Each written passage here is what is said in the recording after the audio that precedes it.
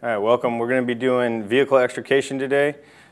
This first part of the class is just an overview of the simple stuff for approaching a vehicle, extricating a patient, what to look for, safety, and techniques we're going to do.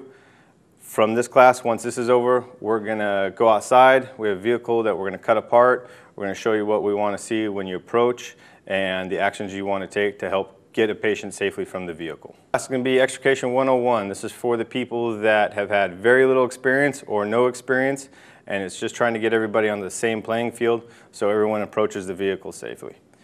Um, in the overview, we're going to go over the extrication philosophies. We're going to go over the scene approach and vehicle identification. We're also going to hit on the passive and aggressive systems. Oh, sorry, passive and active systems. Um, safety system mitigations, how to disable them and what you're looking for, and then extrication considerations. So let's begin with extrication philosophies. First, you need to be aware of your surroundings, and when you approach a scene, you need to have a 360 degree view of what's going on. So you got to identify hazards that are associated with the accident, hazards that are associated around the accidents, and then you also have to take care of your people, the bystanders, and obviously the patient. So most importantly is always going to be safety. It's got to be safety of yourself, safety of your crew, and safety of the patients. That entails a lot of different aspects of the scene, but we're going to start with real basics, which is make sure all your people have their protective gear on, which is full turnouts, helmet, eye pro, and gloves. If you're going to be using extrication tools, you should have a charged hose line out on the ground because while you're using the tools, if something sparks and happens to catch fire from leaking fluid, you want to make sure you have the protection in place for your guys and for the patient. So patient protection. It's important to access the patient early and assess them, but you don't want to commit to a patient too early before you're done triaging the rest of the scene. You need to know how many patients you have and you need to know the extent of their injuries. So once you've completed a triage and you've let command know how many people you have, then you can commit yourself to one patient and start assessing the situation from there. On scene, it's a common practice for the first responders to arrive, go directly to the vehicle, find the first patient they see, and get stuck there. It's really important not to limit your resources by stopping too early in the triage scene. So on arrival, send at least one person to go find out the number of patients you have and the extent of the injuries before you commit people because you're probably going to need to call for more resources and you don't want to get stuck with too few people and too many patients. Along with patient triage, you also need to assign somebody to triage the scene. And essentially that just means identifying the hazards that are going to be associated with the accident, whether that's fluids on the ground, fire, smoke from, a, uh, from the airbags, um, above hazards like power lines, whether they're down or not, or they're going to interfere. So along with patient triage, you need someone to triage the scene and make sure all the safety considerations are taken care of on the vehicle side of the situation. All right, so now that we've assessed the patient, made access, and assessed the scenes and the hazards associated with that, the next step is trying to figure out how to remove the patient from the vehicle. The trick to this and what's often forgot is we're not actually pulling the patient out of the vehicle. We're trying to remove the vehicle from around the patient so we move the patient as little as possible, preventing any further injury. All right, continuing on with extrication philosophy. One good rule of thumb is less is more. And what I mean by that is the less time you spend on scene, the more beneficial it is going to be for the patient. The average extrication time takes 30 minutes. And generally, what does a trauma entry patient need? It's going to be surgery. So the quicker we can get the patient out of the car, the quicker we can get them on the road and into the, into the uh, emergency room. Now we all know that faster is better, especially when it comes to taking care of a patient. But nowadays, with the way vehicles are being made, the safety systems, the use of special metals and alloys, it's going to be a lot more difficult for us to make quick access to a patient safely. So what we need to do is mitigate that time by becoming more efficient at what we're doing. So as I stated before, it's always best to remove the, the vehicle from around the patient, but sometimes in immediate life danger, you're going to have to kind of throw those rules out the window and just get the person out as quick as you can and then treat them afterwards. So keep that in mind when you're, when you're approaching a scene and you're doing your triage. How extensive are their injuries and how quickly do they actually need to be out and transported? All right, next is going to be scene approach and control. So on arrival of the scene, you need to identify the hazards and you need to know how many resources you have coming and what's available to you. Because anytime you perform an extrication on a vehicle, you're going to need a, at least another unit. Or anytime you're going to have at least one C-spine patient, you're going to need another, another unit. So on approach to the scene, know which direction you're coming from, know which direction your other apparatus are coming from, and use your apparatus to block the scene to keep your crew safe and the patient safe. That means taking up multiple lanes and preventing any other vehicles from driving through your scene while you have your guys operating. All right, stabilization. First, we need to stabilize the scene, then we need to stabilize the vehicles, and then follow with that, we need to stabilize the patients. To stabilize the scene, we need to limit traffic control and bystanders' entry into the scene. For the vehicles, we need to remove the keys from the vehicle, place the vehicle in gear, possibly chalk the vehicle or pop the tires to prevent the vehicle from moving. And after that's secure, we need to make a quick access to the patient as we can so we can hopefully secure them and work on our extrication techniques. So there's a priority order, priority order to stabilizing the scene. We try to stabilize the actual vehicles first prior to a patient. That it can be really simple as far as just removing the keys and make sure the power's off the vehicle and then going to the patient. But anytime you have an unstable vehicle, you don't want to make access to the victim until you get the vehicle stabilized so your people can safely enter.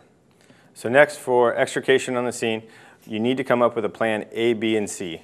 In order to start that process, you need to assign a dedicated extrication team leader, have them create your plan A, and assign that to your extrication team.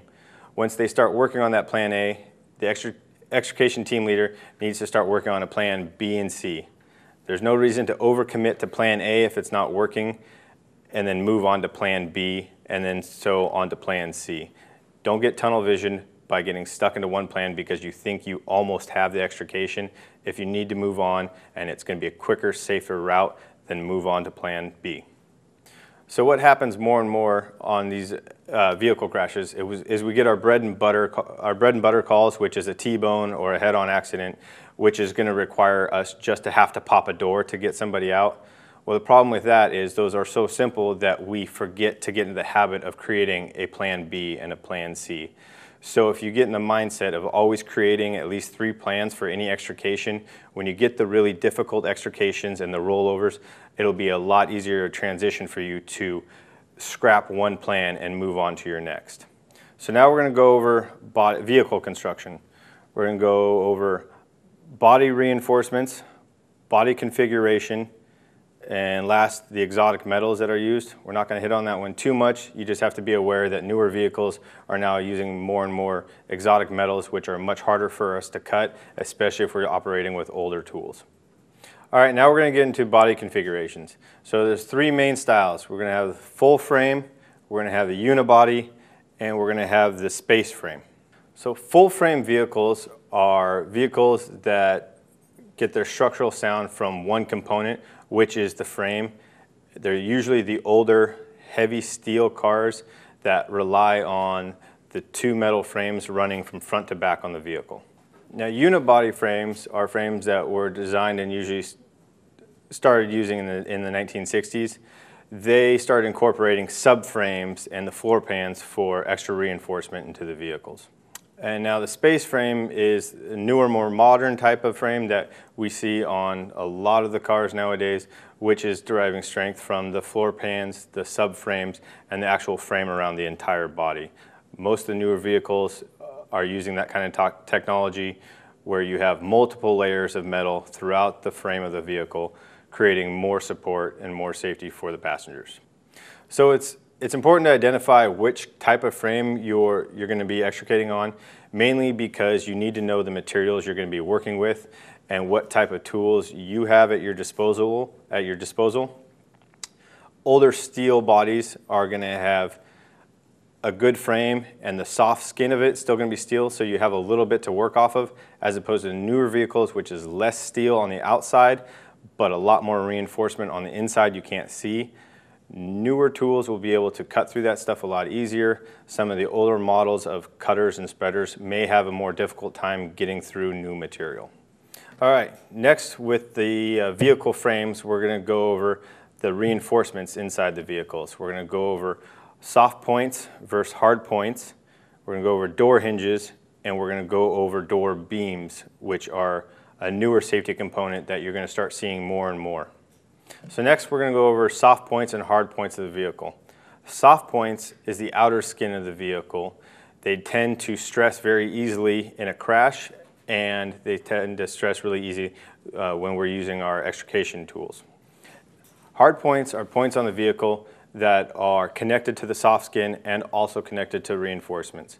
The hard points are the points that we're going to have to force in order to gain access to our victims. All right, we're going to go over the hinge and latch points of the vehicle. They're hard and reinforced points of the vehicle that we're going to have to force. They're usually hardened steel, forged, cast, stamped. In order to make access to a vehicle using a, a hatch or a hinge, you're going to either have to cut and or spread the hinge or latch away from the vehicle to open the door. So for the latches, you have a nader pin, a safety bolt, or there's a wedge style, which you can see on older, older cars and trucks. Um, there's also some European styles out there that you'll see nowadays on newer vehicles such as the Jaguars and the BMWs. They're all still reinforced. They can still be popped and opened with our conventional techniques. You just have to understand that it may take a little more time if you're not pushing on the hard points and you're only working against the soft points. So once you've made your purchase point to the door and you can see what type of latch you're working against, you can then identify whether you're going to need to spread the door open or if you can cut it. A Nader pin or a safety bolt, depending on the type of equipment you're using, could be cut. A wedge style or some of the newer European styles may need to be spread in order to unlatch them from the body. And last in our passive systems is going to be the door beams. These are high strength steel beams or microalloy boron beams, which are very difficult for us to, to cut. Um, they're welded to lighter connections inside the vehicle, so in an accident, it's possible for them to become disconnected from the vehicle and actually pushed into a post, creating a deadbolt type of situation on a, on a vehicle door. So for us to pop the door is going to be much more difficult. So you may understand that you run into problems with the door beams on approach to the vehicle if you see it's a T-bone accident or even a really significant head-on accident. When you start to extricate the patient and you run into problems on the lower end of the door, it seems like it's dead bolted shut, then you're possibly dealing with a door beam and you may have to pull away the skin of the vehicle so you can properly identify what you're dealing with. And as you can see in this slide here, um, once the door skin has been peeled off, you can see the, the door beam running from the A post back to the B post of the front door and from the B post back to the C post of the rear door. All right, now we're going to move on to the active safety systems, which is going to be the airbags, the, pre, uh, the seatbelt pre-tensioners, and rollover protection. All right, so we're going to go over airbags. Vehicle sensors in the vehicle when they're impacted, set off the airbag. It takes multiple sensors to activate the airbag.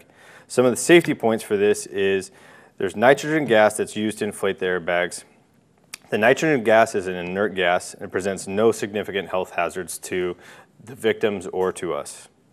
Um, they're packed with a powder similar to baby powder or talcum powder, but that's it's not what it is. It just it's in there to prevent everything from sticking to itself on inflation.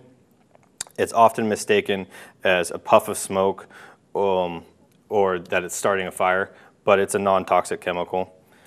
The airbag igniters um, can be hot enough to occasionally start a fire, so after an airbag's been activated and you see the puff of smoke, chances are that's just the powder, but you need to cut the airbag away just to prevent the material from being in there from being ignited due to the, uh, the small explosion activating the airbag. All right, as you can see in the slide, you see a chemical called sodium azide. This is, uh, this is the component. It burns at a rapid rate and it expels the nitrogen gas to inflate the airbag. That's the powder you see. This is a non-toxic powder. All right, so now airbag identifiers. Almost all vehicles have some type of airbag identifier. The problem is there's no standard. There's no manufacturer standard, there's no government standard, so the identification stamps in the vehicle can be kind of whatever the manufacturer wants them to be. So you have to look in multiple places, you have to look for multiple ID tags, and some of them are hidden. So you'll find things that say airbag, you'll find things that say SRS, which is safety restraint system. You can find them on, on the, the horn cover, you can find them on the sides of the actual seats because some vehicles have airbags in the seats. You can find them under the steering column um, for knee protection. So whenever you're working in and around a vehicle, even if you've cut the power, you need to still identify where your airbag, airbag systems are so everyone working with you is aware of the hazard. Because of the hazards associated with airbags and them activating on the people in the vehicles, whether it's us or the victims, you need to know where they are, and even if the power has been cut, the systems have still been known to have a charge anywhere from 10 seconds to a few minutes. So it's still a possibility that the airbags can activate after the batteries have been cut. So when dealing with a vehicle that's been in an accident and the airbags have not been deployed, ensure you cut the power to the vehicle as soon as you can. And when you're assessing the patient and working with inside the vehicle, make sure you keep your hands and heads away from the airbag and never place your head or any body part between the victim and the airbag if they, if they haven't been deployed. And last thing on the airbags that I want to touch on really quickly is there's now a standard out there for dual activation airbags. So once you're in an accident and your airbag is activated, there's still a possibility of a second charge being in the airbag due to secondary collisions. So even if you have an airbag activated in a vehicle from the steering wheel or the passenger's front dash, there's still a possibility for a second one to be in there. So make sure you cut the power and be diligent about staying out of the way of it. All right, second part of the active systems are the seatbelt pretensioners. Now these work in line with the airbags. So like I said, the seatbelt pretensioners work in conjunction with the airbags. Once the airbag sensor is hit and the airbag's activated, there's a little pyrotechnic action down in the seatbelt pretensioner, which activates the seatbelt so it retracts you back into the seat. So when you impact the airbag, it's not as hard. So seatbelt pretensioners are usually found in the B post of the vehicle. They can be at shoulder height or they can be down at the bottom. So it's important when you go to extricate a vehicle that's been in an accident, chances are the pretensioner has activated, but just in case it hasn't, you don't you don't want to cut into it. So as we're going to go over later, it's always important before you cut into a vehicle is you need to peel and peek, which means you need to get inside the vehicle, pull all the plastics away so you can see what you're looking at and what you're about to cut. So you make sure you don't cut the inappropriate parts of the vehicle. All right, it's important to, to note this because just because it's activated, or, or especially if it hasn't activated, there's a pyrotechnic propellant to these systems and if you cut into it, you can rupture the system, which will cause damage to you or the passenger. So always make sure you look before you cut so you don't hit any of these systems. And last in our active systems, we are going to go over rollover protection, also identified in the vehicles as ROPS, which is rollover protection systems. These are usually spring activated or pyrotechnic activated systems that act as a cage for convertible, convertible vehicles if they happen to end up on their sides or on their tops to protect the passengers. As you can see in the picture, the rollover protection systems are roll bars that activate behind the headrest of the vehicles. There are currently a couple designs out there on the market. In the picture, you'll see the two separate ones. In other vehicles, there's one large bar that will ac activate in the same aspect, whether it's a spring or a pyrotechnic. Um, these are activated due to the gyroscope that's in the vehicle. It will activate depending on how far the vehicle leans forward, backwards, or to the side. This is important because if you go to a vehicle that's one rolled over and these didn't activate, you need to be concerned about them activating on you. Or two, if you have a vehicle that's kind of tilted at an angle for whatever reason, if it's stuck on something, a tree stump or a guardrail, and these haven't activated, there's still potential for them activating. And if you're inside the vehicle holding C-spine on a patient or just assessing the situation, you don't want to be around when these activate. So again, a way to protect yourself, cut the power to vehicles and stay clear of them as best you can. So keep your heads and your hands away from them. One more aspect of the rollover protection system on convertibles is the windshield. It's now reinforced with a boron steel that runs up the windshield A-post and around the top of the windshield. So it acts like a roll cage for the front of the vehicle. So if a vehicle happens to roll and the rear ROPS system activates, the front windshield's already in play, hopefully protecting the patients inside the vehicle. All right, so now let's get into cutting the vehicle. Um, prior to cutting any vehicle, it's really important, especially with newer vehicles, that we go over the, the process of peeling and peeking or strip and look. However you want to remember it, it's no big deal. But you do need to get your head in the car and you need to use a tool, whether it's a small crowbar, pair of pliers, or a screwdriver, and you need to start peeling away all the interior plastics of the vehicle because you have to find the nitrogen cylinders for the side airbags, for the side curtains, and for your pre-tensioners before you cut the vehicle because you need to identify whether you're going to cut above or below the cylinder, never on the cylinder. Um, if, you, if you look it up online, you can see people testing this and actually cutting the cylinders and the cylinder will rupture and it will cause damage to you or possibly the victims. So peel and peek, get the plastics out of there, and identify where you need to make your cuts. So in this picture, you can see some of the nitrogen gas cylinders that are hidden behind the posts of a vehicle. So you won't see these unless you peel and peek away the plastics. Once you have and you've identified where these are, it's important for you to make a mark on the exterior of the vehicle so the people running the extrication tools know where they need to cut. All right, to recap some of this stuff, we're going to go over the safety system mitigation. Um, so for the safety systems, first you need to identify and recognize the, the hazards. So that is looking at the vehicle, recognizing what type of vehicle it is, and if there's been uh, airbag deployment and where other airbags are. You need to cut the power. So that requires opening the hood of the vehicle, cutting the cables to the battery, or just removing them. Keeping in mind nowadays with new cars, not all the batteries are under the hood. Some of them are in the wheel well, some of them are in the trunk. So if you pop a hood and you don't see a battery, start thinking of alternate places for that battery to be because you need to get the power cut. When needed, you got to cut the seat belts on the patients.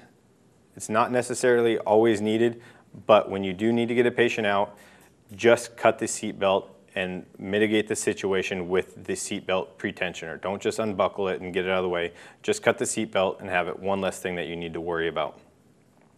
And finally, prior to any cutting, peel and peek or strip and look, whatever you do, get all the plastics off, remove them from the vehicle. Don't just pull them out and look to see that the cylinders are there.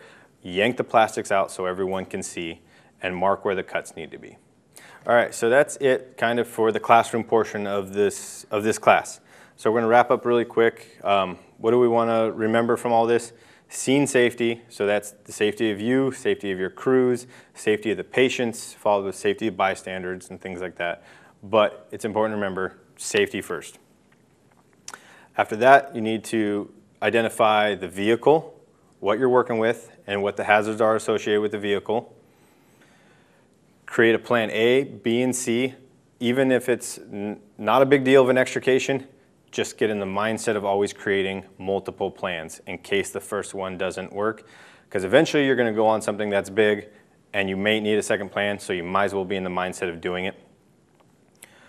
There are new vehicle changes, which are creating new challenges for us. We need to be more proficient at what we're doing to help stay ahead of the curve.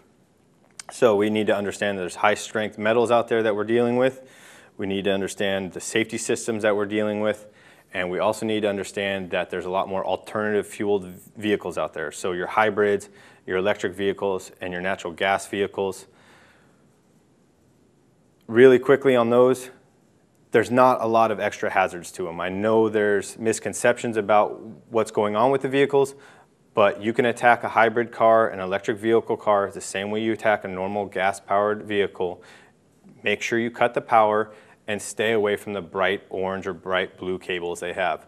There's no reason for us to touch them or play with them. There's chances are they're in a place we will never have to cut or do anything with them. You just have to make sure you get the power off, get the key out, put it in drive, or I mean in park, and um, if it's a remote key that activates in sensors, just get it away from the scene and you will be fine. So like I said, uh, newer cars create new challenges. Um, we have more, more hazards we need to identify and we need to make sure we identify them quickly before we commit to inside of a vehicle because you want to keep everybody safe. Don't mindlessly just cut a vehicle anymore. There's too many hazards, too many concerns that we have with new vehicles. We can't just use the old approach of cut, spread, and pull. We have to come at this smarter and we have to come at it um, more proficiently because the better proficiency we have, the less time we're going to have to spend on the vehicle and the better that's going to be for the patient. When approaching a vehicle, make sure you identify what the hazards are and what type of vehicle you're working on. Crib the wheels in the front and the back. If you don't have step chocks, use standard wood cribbing. Different pieces of cribbing can be used different ways. If you notice the step chocks I turned upside down to capture the load better. On your walk around, identify labels on the rear of the car and the front of the car to ensure you're not dealing with a hybrid or electric vehicle and do a quick look inside the vehicle for any type of airbag or safety restraint systems. When beginning your extrication operation, sometimes there are going to be purchase points available, other times you'll have to create your own.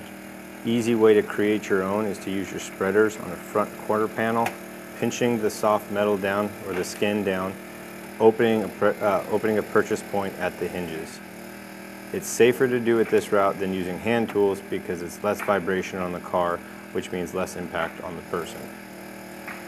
After you get a purchase point in the seam between the door and the front quarter panel, use your spreaders and pull the skin away, exposing the hinges more. The more exposed, the easier it'll be to, to reach the hinges and press apart the door. While spreading, if you notice you're pushing on the skin and tearing away the metal from the car, you're not into a hard point, readjust and continue spreading. It's important to keep the power on the tools throughout, throughout the movement of the tool, as most tools will bog down while you're turning them, and use more pressure to continue opening the longer you hold it open.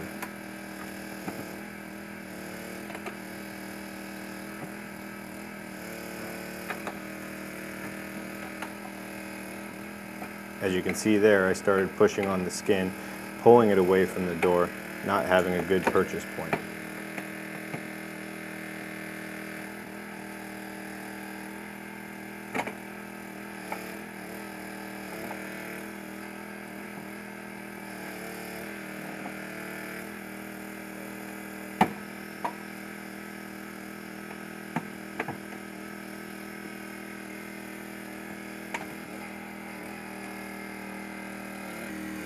Another option for removing a hinge from a door is the cutters.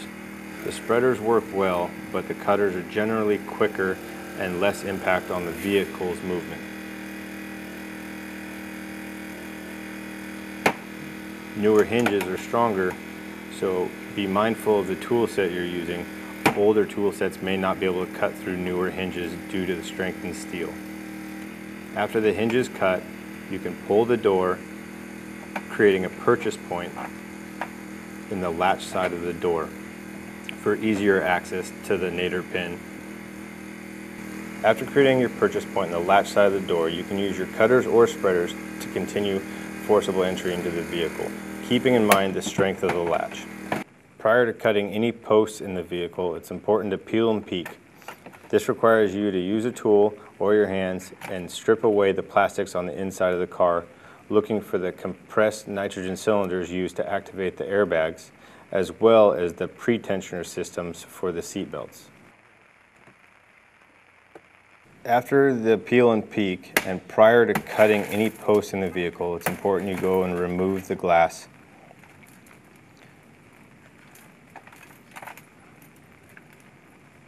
Keeping in mind, it's important to have another firefighter in the vehicle with the patient at the time, keeping them covered with a blanket and explaining to them what extrication is going on outside. Remember, it's important to communicate with the patient while they're in the vehicle, keeping them safe, as well as communicating with the exterior team, letting them know the patient's conditions.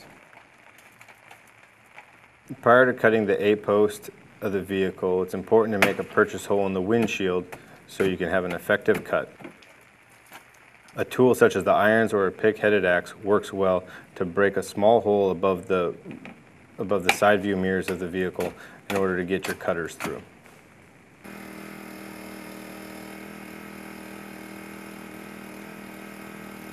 The removal of a roof can be quite easy, but it's important that you've hit all your safety steps before doing it.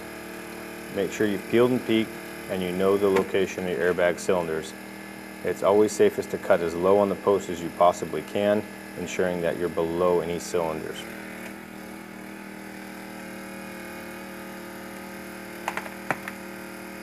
Once you've made a cut, ensure you've kept enough pressure on the tool to completely cut through the plastics on the inside as well as the metal on the outside. Some of these B posts and A posts have multiple layers of metal and can take a significant amount of pressure and time to get cut through. Another viable option besides the spreaders is a sawzall. They will cut through these just as well, just make sure you have multiple blades if needed.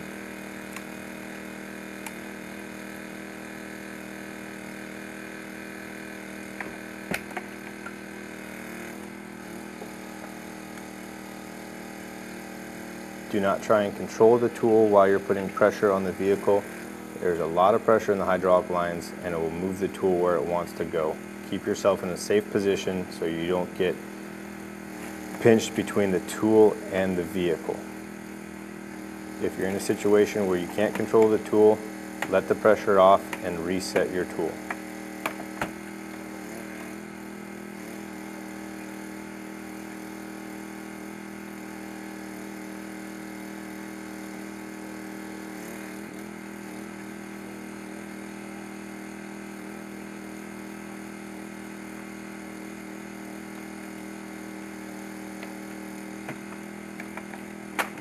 With the assistance of another firefighter and a long tool, it's easy to lift the roof of the vehicle. Note the seatbelt that's still attached. A common mistake, often missed, needs to be cut prior to lifting.